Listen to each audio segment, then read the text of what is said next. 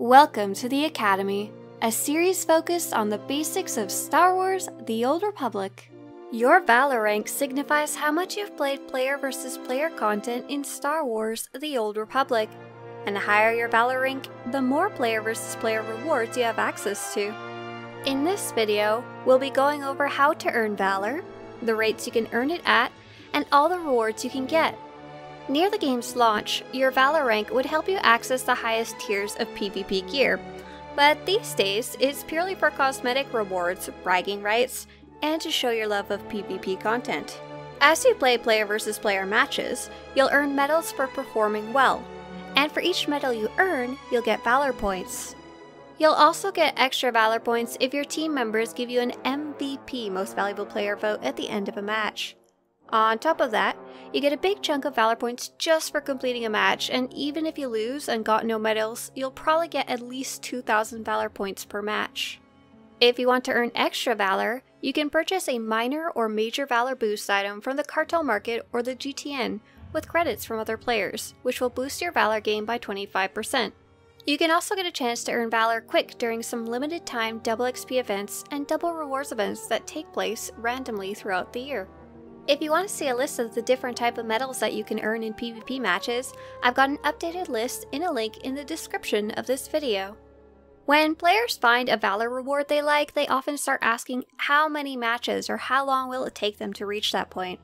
Players most often ask how long it will take them to reach level 60, which is the rank you need to wear some of the old crafted cosmetic armor, and how long it will take to get to Valor rank 100, as there's a new Steam achievement offered at that rank. At the time of making this video, on a max level character, you'll earn approximately 3,000 Valor points per match. During double rewards events, and with using a Valor boost, you can easily reach over 8,000 points per match if you do well and get a lot of medals. The early Valor levels only require a few thousand points each, and completing your first match will likely push you through a good chunk of the early Valor levels. However, the later levels start increasing sharply in how many points you need to complete them. For example, almost every level before Valor level 50 requires about 1 to 2 matches per rank, but after that it starts going up very steeply. To give some more context, just going from Valor rank 99 to 100 will take you longer than going all the way from Valor rank 1 to Valor rank 50. I wanted to find out how many matches it would take me to get to my goal, so I've made a spreadsheet that will help you calculate how many Valor points you need to get to your goal. And there's a little calculator at the bottom that will help you estimate how many matches you'll need to play to get there, and about how many hours of PvP you'll have to play. It's linked in the description of this video as well. To use the spreadsheet, open up the link, and then you'll first need to go to File, Make a Copy and then on your copy, delete all the rows of Valor ranks you already have. So if you're Valor 14, delete rows 1 through 14. Then, delete the rows after your goal. If you want to reach Valor 60, delete rows 61 through 100. If you wanted to also factor in how many points you currently have, especially if you're in the later levels, which take much longer, type in the current Valor points in the middle columns row. The bottom of the sheet will then tell you the total you need to earn in Valor points, and if you type in on average how many points you personally earn per match, it will tell you how many matches it will take you to reach your goal, and a rough estimate of how many hours you'd spend in PvP getting there. The biggest rewards for leveling up your Valor, apart from bragging rights, is the titles you can display on your character. You get a title for each 10 Valor levels you earn, and there's a matching achievement of the same name in the Legacy Advancement Valor section of your achievements. So the titles go Skirmisher, Duelist, Gladiator, Centurion, Champion, Battlemaster, War Hero, Conqueror, Warlord, and the coveted Elite Warlord for Valor rank 100. In addition to the titles, as you rank up in Valor, you'll also get access to the PvP Crystal Vendor, a few cosmetic items, and a vendor that sells cosmetic weapons. At Valor rank 10, you'll have access to a vendor that sells a bunch of different color crystals. In the past, these crystals offered a PvP specific advantage, but now they're all pretty much identical to the crystals that can be crafted. The colors that are offered are most of the crafted color crystals along with the four original black core earnable crystals. They each cost between 150,000 to 300,000 credits in addition to Valor rank 10, so you'll definitely want to compare these in price with the crystals you can find on the GTN before buying them. So the colors available are basic orange, green, red, blue, yellow.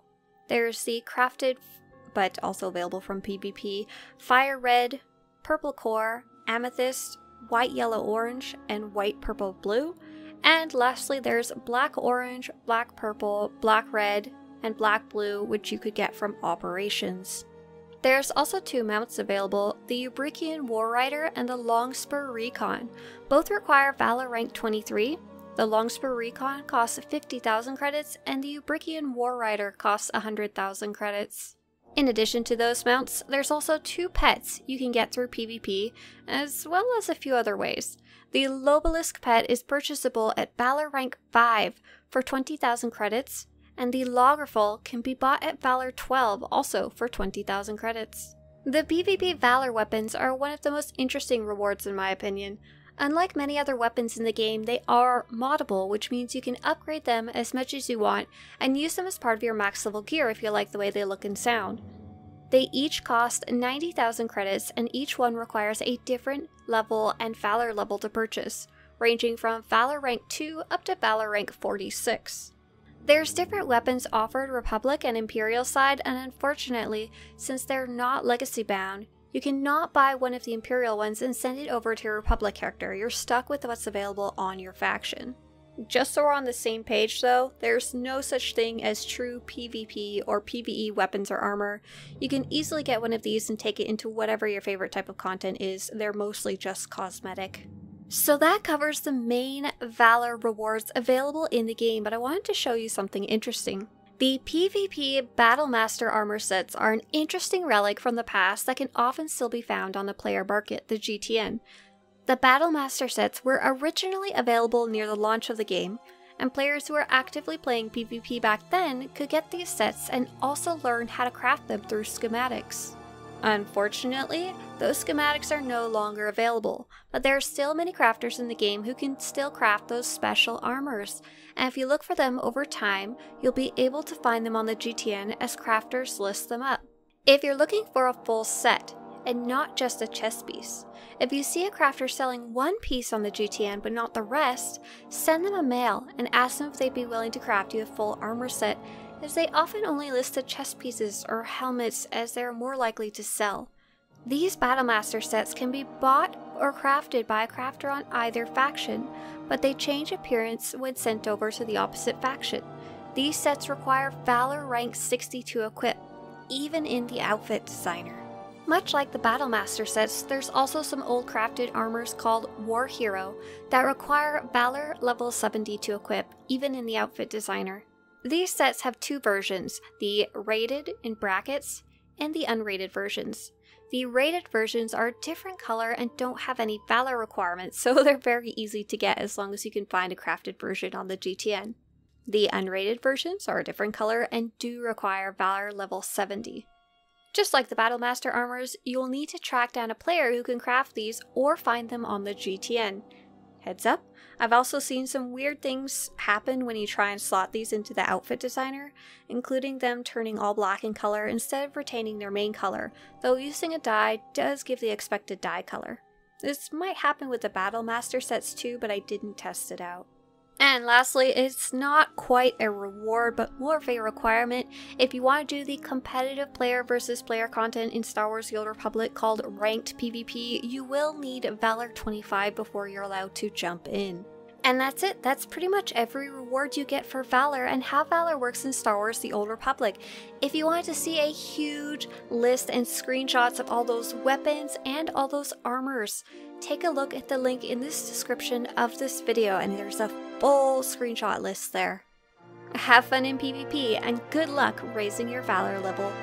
If you want to show your support for this series, or you want to have similar Star Wars The Old Republic videos show up on your YouTube homepage, subscribe to this channel. May the Force be with you.